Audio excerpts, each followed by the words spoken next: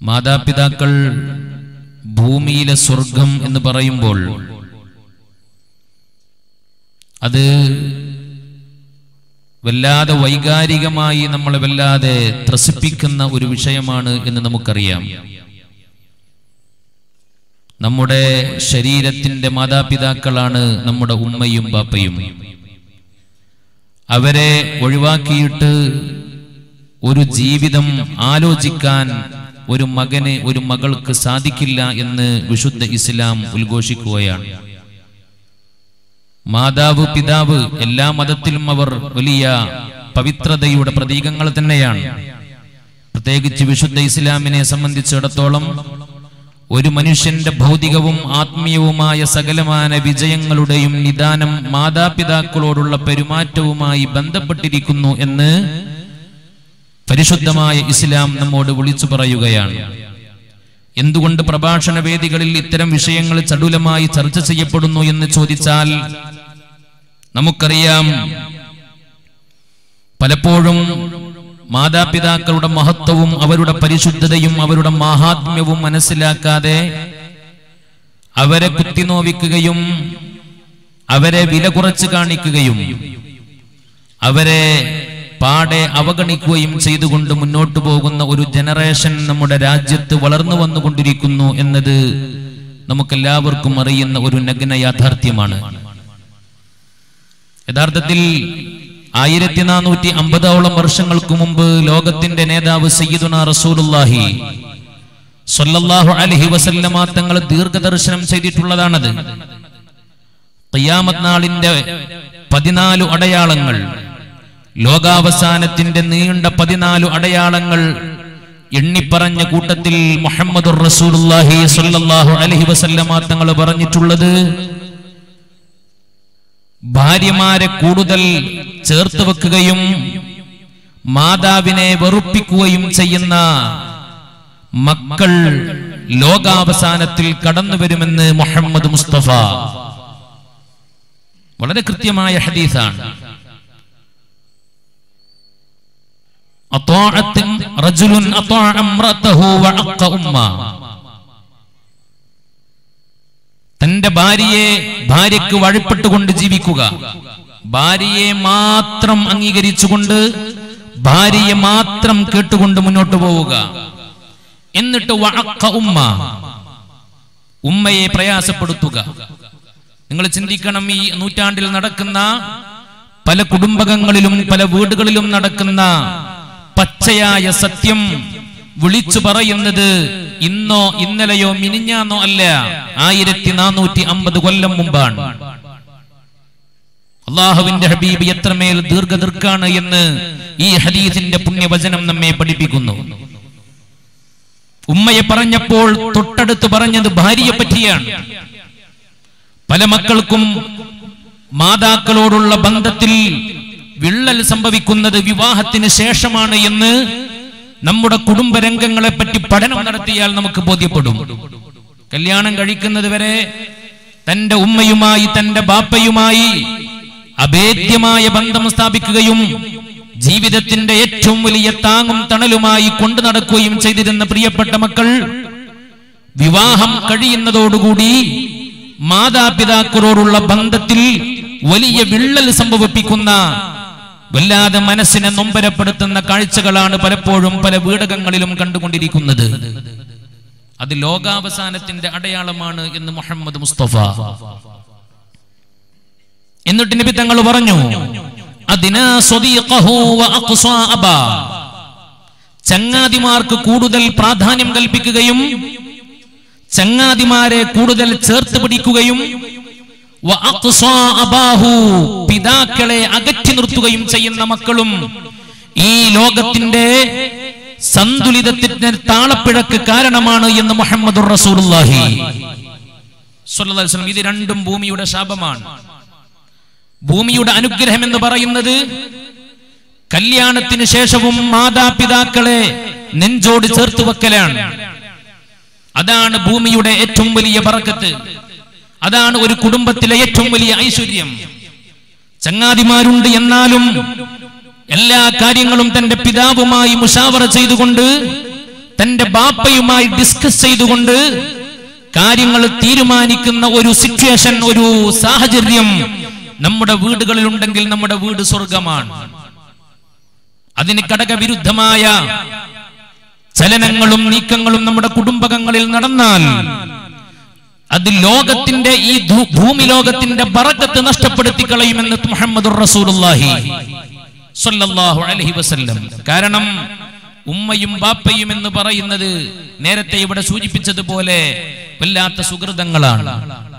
അള്ളാഹു ഈ ഭൂമിയിൽ നമുക്ക് കനിഞ്ഞു തരു കനിഞ്ഞു തന്ന വളരെ പ്രധാനപ്പെട്ട രണ്ട് സുഹൃതങ്ങളാണ് ഉമ്മ ബാപ്പ എന്ന് പറയുന്നത്. നമ്മൾ എത്ര വളർന്നു വലുതായാലും എന്റെ പ്രിയപ്പെട്ട ചെറുപ്പക്കാരെ എന്റെ പ്രിയപ്പെട്ട പെൺകുട്ടികളെ നമ്മളെക്കാളും വിദ്യാ വിദ്യാഭ്യാസം കുറഞ്ഞവരാ നമ്മുടെ പ്രിയപ്പെട്ട മാതാപിതാക്കൾ. നമ്മൾ പഠിച്ച് സ്കൂളിൽ പഠിച്ച് കോളേജിൽ പഠിച്ച് ഡിപ്ലോമ എടുത്ത് ഡിഗ്രി എടുത്ത് വലിയ എഡ്യൂക്കേറ്റഡ് ആയി ഒരുപാട് വിദ്യാഭ്യാസങ്ങൾ കരസ്ഥമാക്കിയിട്ടുണ്ട്. നമ്മുടെ പൊന്നുമ്മക്ക് ഒരുപക്ഷെ ന്യൂസ് പേപ്പർ പോലും വായിക്കാൻ കഴിയാത്ത വിധം ഉമ്മ അജ്ഞയായിരിക്കാം. നമ്മൾ വളർന്നു വലുതായി വലിയ സാമ്പത്തിക സ്രോതസ്സുകൾ നേടിയെടുത്ത് നാട്ടിലെ വലിയ പ്രമാണിയായി മാറിയാലും നമ്മുടെ പ്രിയപ്പെട്ട പിതാവ് അറുപത് വയസ്സെത്തിയ എഴുപത് വയസ്സെത്തിയ നമ്മുടെ പ്രിയപ്പെട്ട പൊന്നുപ്പ ആ ഉപ്പായുടെ മുതുക് വളഞ്ഞുകൊണ്ടാണ് നടക്കുന്നതെങ്കിലും ആ ഉപ്പ എന്നും നമ്മുടെ ഉപ്പ തന്നെയാണ്. നമ്മൾ എത്ര വളർന്നാലും എത്ര ഉയർന്നാലും നാം എത്ര പഠിച്ചാലും നാം എത്ര വിദ്യാഭ്യാസം കരഗതമാക്കിയാലും നമ്മുടെ ഉമ്മയെക്കാളും ബാപ്പയെക്കാളും കൂടുതൽ നമ്മൾ വളരുന്നില്ല. അവരെക്കാളും ഉയരത്തിൽ ഒരിക്കലും തന്നെ നമുക്ക് പോവാൻ കഴിയില്ല. ഇതാണ് പരിശുദ്ധമായ ഇസ്ലാം നമ്മോട് വിളിച്ചു പറയുന്നത്. അള്ളാഹുവിന്റെ പരിശുദ്ധമായ കലാമെടുത്ത് പരിശോധിച്ചാൽ വസല്ലമ തങ്ങളുടെ പവിത്രമാക്കപ്പെട്ട സുന്നത്തുകൾ പരിശോധിച്ചാൽ മാതാപിതാക്കളെ എത്ര വാചാലമായിട്ടാണ് നമ്മുടെ മുമ്പിൽ അവതരിപ്പിക്കുന്നത്. വാചാലമായിട്ടാണ് കൃത്യമായിട്ടാണ് പരിശുദ്ധ ഇസ്ലാം മാതാപിതാക്കളെ വരച്ചു കാണിക്കുന്നത്. അള്ളാഹു കഴിഞ്ഞാൽ മുഹമ്മദ് റസൂലുള്ളാഹി സ്വല്ലല്ലാഹു അലൈഹി വസല്ലമ തങ്ങൾ കഴിഞ്ഞാൽ പിന്നെ ഈ ലോകത്ത് നാം ഏറ്റവും കൂടുതൽ ബാധ്യതപ്പെട്ടിരിക്കുന്നത് പ്രിയപ്പെട്ട സഹോദര നമ്മുടെ മാതാവിനോടാണ്. ഈ ദുനിയാവിൽ ഏറ്റവും കൂടുതൽ ബന്ധം അള്ളാഹുവിനോടാണ് അള്ളാഹു ആ ബന്ധം മരണം വരെ നിലനിർത്തി തരട്ടെ. അത് കഴിഞ്ഞാൽ പിന്നെ മുഹമ്മദ് റസൂലുള്ളാഹി. കാരണം അള്ളാഹു നമ്മുടെ സൃഷ്ടാവാണ്. അള്ളാഹുവിന്റെ ഹബീബ് നമ്മുടെ ആത്മപിതാവുമാണ്. അത് കഴിഞ്ഞാൽ മൂന്നാമതായി നാം ഏറ്റവും കൂടുതൽ ബാധ്യതപ്പെട്ട് കിടക്കുന്നത് നമ്മുടെ സ്വന്തം മാതാവിനോടാണ്. ഒരു തവണയല്ല രണ്ട് തവണയല്ല മൂന്ന് തവണയും നാം ബാധ്യതപ്പെട്ടിരിക്കുന്നത് ഉമ്മയോടാണ്. ഒരു സ്വഹാബി വന്നിട്ട് ലോകത്തിന്റെ നേതാവ് മുഹമ്മദ് മുസ്തഫ സല്ലല്ലാഹു അലൈഹി വസല്ലമ തങ്ങളോട് ചോദിക്കുന്നു നബിയേ മൻ ഹഖുൻ നാസി യാ റസൂലല്ലാഹ്. ജനങ്ങളുടെ കൂട്ടത്തിൽ ഞാൻ ഏറ്റവും കൂടുതൽ ബന്ധം സ്ഥാപിക്കേണ്ടത് ആരോടാണ് നബിയെ? ഞാൻ ഏറ്റവും കൂടുതൽ കടപ്പെട്ടിരിക്കുന്നത് ആരോടാണ് റസൂലേ? എന്ന് ചോദിച്ച സമയത്ത് ലോകത്തിന്റെ ഗുരു ആ സ്വഹാബിക്ക് കൊടുത്ത മറുപടി ഹദീസിൽ കാണാം. ഉമ്മുക്ക നിന്റെ ഉമ്മയാണ്. ഉമ്മുക്ക നിന്റെ മാതാവാണ്. രണ്ടാമതും ആ സ്വഹാബി ചോദിച്ചു പിന്നെ ആരോടാണ് നബിയെ? എത്രയോ തവണ കേട്ട ഹദീസല്ലേ ഇത്. പിന്നെ നബിയേ? അള്ളാന്റെ റസൂൽ പറഞ്ഞു ഉമ്മുക്ക നിന്റെ ഉമ്മയോടാണ്. വീണ്ടും ചോദിച്ചു സുമ്മമൻ പിന്നാരോടാണ് നബിയെ? അള്ളാന്റെ റസൂൽ വീണ്ടും പറഞ്ഞു ഉമ്മുക്ക നിന്റെ ഉമ്മയോടാണ്. സ്വഹാബി വിട്ടില്ല നാലാമതും ചോദ്യം ആവർത്തിച്ചു നബിയെ പിന്നാരോടാ? അള്ളാന്റെ റസൂൽ പറഞ്ഞു അബൂക്ക നിന്റെ ബാപ്പയാണ്. ഒന്നും രണ്ടും മൂന്നും സ്ഥാനം ഉമ്മാക്കാണ് അള്ളാഹുവിന്റെ ഹബീബ് നൽകിയത്. നാലാം സ്ഥാനം ബാപ്പാക്കാണ് അള്ളാഹു നൽകിയത്. അത് ബാപ്പയെ അവഗണിച്ചതല്ല. അത് ബാപ്പയെ വില കുറച്ച് കാണിച്ചതല്ല. ലോകത്ത് ഒരു ബാപ്പയും ചെയ്യാത്ത മൂന്ന് പണി ഉമ്മ ചെയ്തിട്ടുണ്ട് എന്നാണ് അതിന്റെ കാരണം. അതൊരു ബാപ്പമാർക്കും ചെയ്യാൻ കഴിയില്ല. അള്ളാന്റെ ഹബീബ് ലോകം കണ്ട ഏറ്റവും വലിയ മനഃശാസ്ത്രജ്ഞന. അള്ളാന്റെ ഹബീബ് ലോകം കണ്ട ഏറ്റവും വലിയ ദീർഘദീർഘ. വെറുതെയല്ല മൂന്ന് തവണ പറഞ്ഞത് ഉമ്മക്ക നിന്റെ ഉമ്മയോടാണ് നിനക്ക് ബാധ്യത എന്ന്. ബാപ്പ ചെയ്യാത്ത മൂന്ന് കാര്യങ്ങൾ ഉമ്മ ചെയ്തിട്ടുണ്ട്. ഏതാണ് ആ മൂന്ന് കാര്യങ്ങൾ? ഗർഭം ചുമന്നതോ പത്തു മാസം തള്ളയാ. പ്രസവിച്ച വേദന തിന്നതും അവർ തന്നെയാ. പാലും കൊടുത്ത് വളർത്തലും അവരാണ്. ഇവ മൂന്നു കാര്യം ബാപ്പയും ഒഴിവാണ് ലോകത്ത് ഏത് ബാപ്പാക്ക ഗർഭം ധരിക്കാൻ സാധിക്കുക? അള്ളാഹുവിന്റെ ഹബീബ് സല്ലല്ലാഹു അലൈഹി വസല്ലമ തങ്ങൾ ഒന്നാമതായി ഉമ്മാക്കാണ് ഉമ്മയോടാണ് കടപ്പാടെന്ന് പറയാൻ കാരണം ബാപ്പ ചെയ്യാത്ത ഏറ്റവും വലിയ ഒരു ഏറ്റവും വലിയ സാഹസികമായ ഒരു പ്രവർത്തനം നമ്മുടെ മാതാവ് ചെയ്തിട്ടുണ്ട്. അതെന്താണെന്നറിയോ ഒമ്പത് മാസവും ചില്ലറ ദിവസവും നമ്മെ ഉദരത്തിലിട്ട് ഗർഭം ചുമന്നത് നമ്മുടെ പ്രിയപ്പെട്ട ഉമ്മയാണ് മാതാവാൻ ഏതെങ്കിലും ബാപ്പാക്ക് ഇതിന് കഴിയോ? അതുകൊണ്ട് അള്ളാന്റെ ഹബീബ് പറഞ്ഞു ഒന്നാമതായി ഞാൻ നീ ബാധ്യതപ്പെട്ട് കിടക്കുന്നത് ഉമ്മയോടാണ്. രണ്ടാമതോ പ്രസവിച്ച വേദന തിന്നതും അവർ തന്നെയാ. മരണവേദനയോട് സമാനമായ പ്രസവവേദന സഹിച്ചുകൊണ്ട് ഒരു ഉമ്മതന്റെ പ്രിയപ്പെട്ട കുഞ്ഞിന് ജന്മം നൽകുകയാ. ലോകത്ത് ഇന്ന് വരെ ഒരു ബാപ്പയും പ്രസവവേദന അറിഞ്ഞിട്ടില്ല.